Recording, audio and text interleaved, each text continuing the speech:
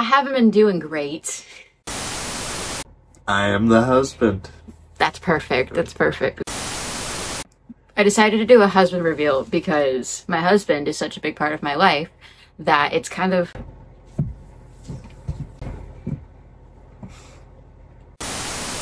So a husband reveal. I I just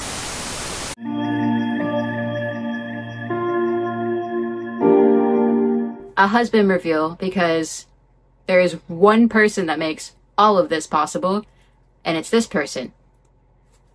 Because this one can hold a job. Which I cannot. So, And boy, is it hard. tell us about your job. Well, I clean cars. Uh, I run a business that cleans cars. It's interesting, that's for sure, but it keeps me busy. I'm the one running the show. We don't have that much staff. So I'm working constantly, unfortunately. Why why? why would you do that? I'm not very old. We're not very old. We're kind of young, especially we're married, like legally married. I have the marriage license and everything. We went to Colorado for it and everything. We eloped. It was great. That was that was a fun experience, that's for sure. It was very fun. The quick rundown is we knew each other for 14 years before we ever got together because we went to school for together for that long. So we went to school together for 14 years. We had a, finally a class together for the first time senior year of high school. We did not get together in high school. Instead, we remained friends and not close friends even. And then I graduated early, so I didn't see anybody. And you weren't in school for the mo- post part either, right? Nope. Uh, I was just off on my own. So we both kind of dropped out of school, kind of, sort of, not actually. we both graduated. I ha- I I don't know where it is, but who knows where their diploma is. Probably should mention that my husband is super sick currently, but alive. So that's how we met, kind of. No, we didn't even talk about how we met. We're jumping around, so I'm gonna have to do some major editing. but back to how we met. 14 years together in high school.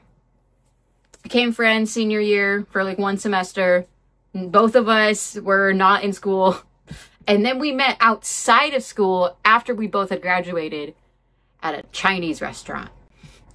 As it goes. Who doesn't love a good old Chinese restaurant? I mean, it's like the best Chinese restaurant in our hometown, though. Yep. It's Yep. really, it's really good. The main purpose of the video is going to be how our marriage functions probably differently than it would in an apartment versus in a 27 foot travel trailer.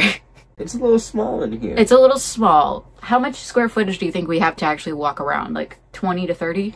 a little more than that? Because I, I, would, I wouldn't know anything about that. Not too terribly much. Not that much. We don't have a whole lot of space. I did a tour of the trailer and you can kind of see how little space we have, but we didn't have the slide out working in that video, so we have a tiny bit more space, like two to four feet more. Yeah, I mean it's nice that our walls extend.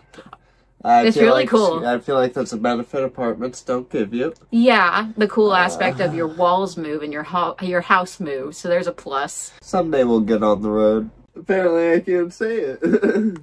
We're gonna- doubly. Bottling double. Body double. Yeah, I almost had body doubling. Yeah, body doubling. So I feel like that's the main key to why we function so well in such a close space. I like smaller spaces. I have adapted to liking the smaller space a lot, but I think that's more because everything is mine and I have control over everything and I know everything, so it makes my brain be chill. I feel like all day long, all we do is body double. So we're always either doing something together, which isn't often because if we start watching a movie together, I'm going to start crocheting.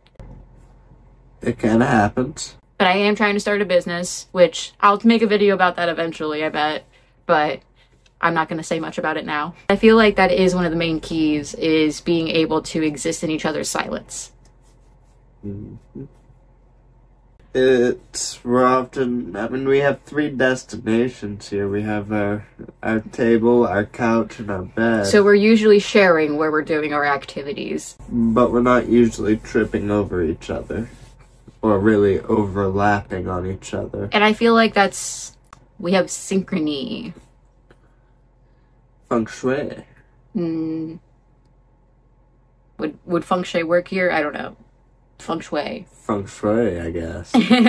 It, I feel like it just takes the right kind of person to live in this small of a space with. We've even we've had our we've had our troubles. Don't worry, we'll get to that eventually. The TV. There is only room for one TV in this household. The problem is who gets the TV. We have shows that we watch together, like every couple, but there are still differences in our preferences. I used to be a YouTube girly. I used to only ever want to watch YouTube, and I think you changed me on that. Yeah, I grew up on a lot of live TV, so a lot of sitcoms, a lot of classic television. I did not. I did not. I don't think we ever had cable. I think that's why. We don't switch off at all. We don't like keep tabs on who has gotten the TV and who gets it next. It's more about who needs to like decompress more. Yeah. So when he first gets home, I feel like it's mostly his TV, and I I love that because it it kind of interrupts my my day in a good way. It interrupts my day in a good way. What about you? How do you feel when I'm always yanking the TV away? I mean, a few shows you have changed me on. We have been watching less Rick and Morty, which I can appreciate. Fights and arguments in a 27 foot trailer. Well, it's hard to avoid a fight when to get away from a situation, you have to walk outside. You have to sit there and stare at whatever the other person is doing and let everything stew and mm, fester. Yeah, that's what I was gonna say. Everything festers a lot more, so you kind of have to be more direct. I feel like versus the apartment, we're a little bit more direct in our problems, or if we have an issue, it gets brought up a lot more quickly, and it either gets solved or shut down. Which, unfortunately, we have our things to work on, but every couple does, and every marriage does, and we're never gonna stop working. So, blah blah blah, sappy sappy sappy stuff. Mm, but that's what's important. Food is pretty nice because, I mean, when one person gets up, it's easy to have them grab whatever you want and yell at them halfway across the camper if you think of something. You don't gotta worry about being quiet. We can be as loud as we want. Mm, at any point in our existence here, we're able to yell at each other and holler at each other. Well, that's not what I was getting at, but I think it's brought us closer together. While it's pushed us apart in some ways, I think it's more about surviving the circumstances than it is surviving each other. Life has thrown a lot of toughies as it goes. And it will. I think that's the end. Yeah, Yeah. sounds like a good end to me. I think you need a nap. Well, I think that is all we have for today. Hopefully, we'll start seeing the hubby more often on the channel. But I mean, my channel is mainly around living in a trailer or tr- living in a travel trailer. But that's it. I hope you guys enjoyed watching or laughed or s- something. Or subscribe. Or subscribe. I don't tell people to subscribe, so you're the first to do well, that. that that's your problem. I can tell them to subscribe. Okay. He guys, he told you guys. I'll see you next time. Please tell me if you have anything you want to see me say, do whatever, because I get bored. Because this one makes it so I don't have to do anything all day. Whoops. My Wh- bad. Yo, whoops. I'm so lucky. Oh gosh. Um, but enjoy your day, your evening, or your night, and I'll see you later.